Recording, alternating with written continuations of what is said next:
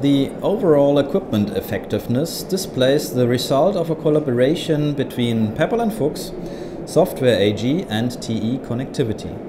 It shows three Industry 4.0 use cases. Process optimization, algorithmic quality control and on-demand service.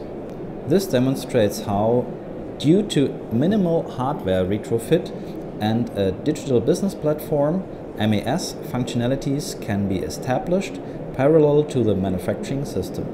Sensor data is collected from the manufacturing process and transferred to the digital cloud-based business platform. The platform then provides the visual data about the pre-process synchronicity. The analysis includes historical data that then extrapolates the information for future service requirements. The current status update optics impaired sends a notification for a cleaning to a service staff.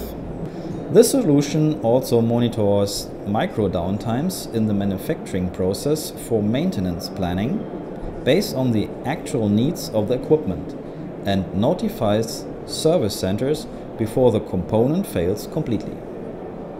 My name is Michael Bocek and I'm Product and Business Development Manager Industry 4.0 at Pepperl and Fuchs.